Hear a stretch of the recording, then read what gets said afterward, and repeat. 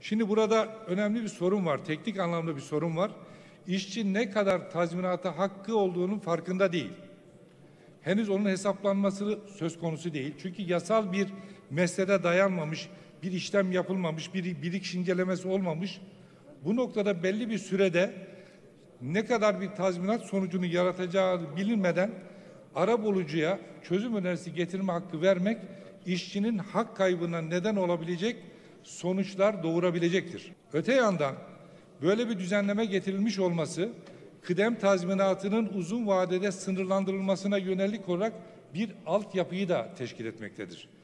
Öyle anlaşılıyor ki ileriki aşamalarda kıdem tazminatı sınırlandırılacak, emekçilerin önemli derecede hakları ellerinden alınacak ve bunu hesaplamada artık sorun çıkmayacağı için de ara bulucunun kolaylıkla bu e, sonuca varmasına olanak sağlayacaktır ki bunu da gelecek açısından, emek dünyası açısından endişe verici buluyorum.